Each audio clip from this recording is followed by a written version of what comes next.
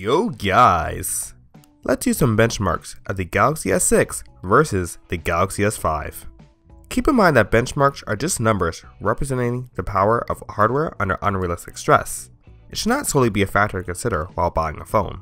On the left I have the Galaxy S6, which is running Samsung's own Exynos octa-core 64-bit CPU. And on the right I have the Galaxy S5 running the Snapdragon 801. Both devices are on factory settings and were rebooted right before this test. Let's start off with the Antutu benchmark.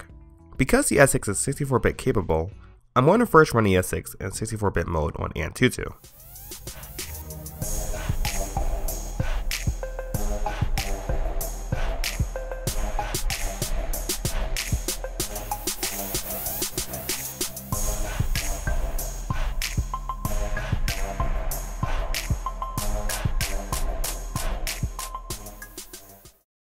And the results are in. The Galaxy S6 completely surpassed the S5 with 66,000 points versus the S5's 45,000 points.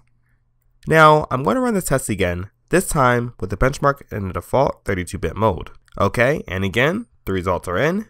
The S6 is still far ahead of the S5 with 61,000 points versus the S5's 44,000. Now let's move on to 3D Mark. Keep in mind that the S6 packs a display with a lot more pixels than the S5. However, this benchmark also performs off-screen tests as well.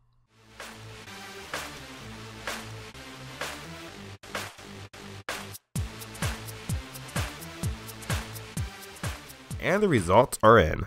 The Galaxy S6 scored 22,200, while the S5 is at 19,800.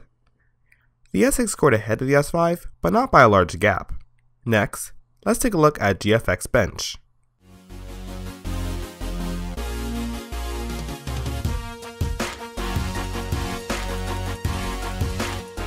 Okay, and the scores are in. The high level tests were generally higher on the S6 than the S5, while the low level tests performed slightly better on the S5 than the S6. Overall, the S6 best score was almost 100 frames more than the S5's. Finally, let's do Geekbench. And the final results are in. The S6 scored ever so slightly higher in a single score and significantly higher in a multi-score. So, what does all this mean? Well, for one, Samsung's Exynos offers similar performance to Qualcomm's Snapdragon, even surpassing it at times. The moment we saw the greatest difference was when a benchmark was taking advantage of the Exynos 64-bit capabilities.